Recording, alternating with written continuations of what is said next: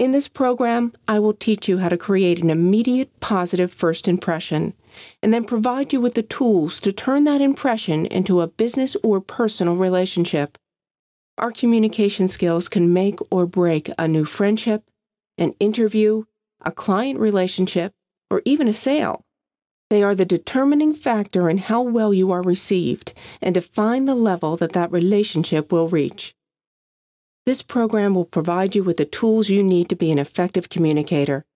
You will walk away with specific techniques that will enhance your ability to build and maintain long lasting, impacting relationships in any situation.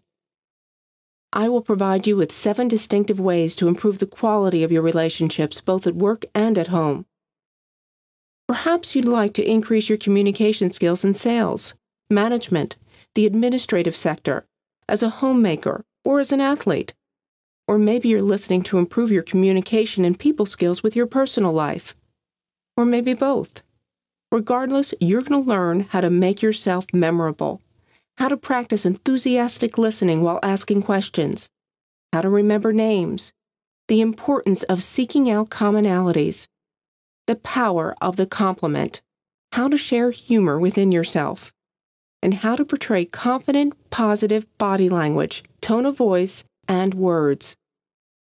These seven factors of rapport, when combined, will not only enhance your ability to create personal and business relationships, but open the door to long lasting friendships.